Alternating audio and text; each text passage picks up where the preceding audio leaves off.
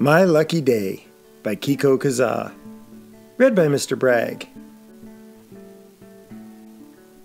One day, a hungry fox was preparing to hunt for his dinner. As he polished his claws, he was startled by a knock at the door. Hey, Rabbit! Someone yelled outside. Are you home? Rabbit, thought the fox. If there were any rabbits in here, I'd have eaten them for breakfast. When the fox opened the door, there stood a delicious looking piglet. Oh no! screamed the piglet. Oh yes, cried the fox. You've come to the right place. He grabbed the piglet and hauled him inside. This must be my lucky day, the fox shouted.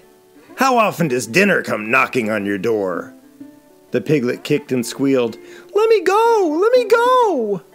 Sorry, pal, said the fox. This isn't just any dinner. It's a pig roast, my favorite. Now get into this roasting pan. It was useless to struggle. All right, sighed the piglet. I will, but there's just one thing. What? growled the fox. Well, I'm a pig, you know. I'm filthy. Shouldn't you wash me first?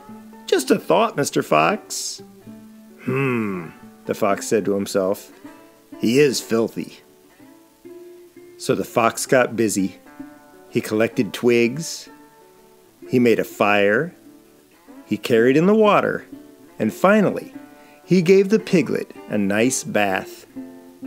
You're a terrific scrubber, said the piglet. There, said the fox. Now you're the cleanest piglet in the county. You stay still now. All right, sighed the piglet. I will, but. But what? growled the fox. Well, I'm a very small piglet, you know. Shouldn't you fatten me up to get more meat? Just a thought, Mr. Fox. Hmm, the fox said to himself. He is on the small side. So the fox got busy. He picked tomatoes, he made spaghetti, he baked cookies, and finally, he gave the piglet a nice dinner. You're a terrific cook, said the piglet. There, said the fox. Now you're the fattest piglet in the county, so get into the oven. All right, sighed the piglet. I will, but. What, what, what? shouted the fox. Well, I'm a hard working pig, you know.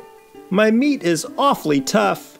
Shouldn't you massage me first to make a more tender roast? Just a thought, Mr. Fox.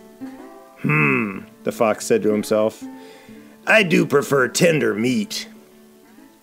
So the fox got busy. He pushed, and he pulled. He squeezed and pounded the piglet from head to toe. You give a terrific massage, said the piglet. But the piglet continued. I've been working really hard lately. My back is awfully stiff. Can you push a bit harder, Mr. Fox? A, a little to the right, please? Yes. Yes. Oh, now just a little to the left. Mr. Fox, are you there? But Mr. Fox was no longer listening. He had passed out, exhausted. He couldn't lift a finger, let alone a roasting pan. Poor Mr. Fox, sighed the piglet. He had a busy day. And then, the cleanest, fattest, and softest piglet in the county picked up the rest of his cookies and headed for home. What a bath!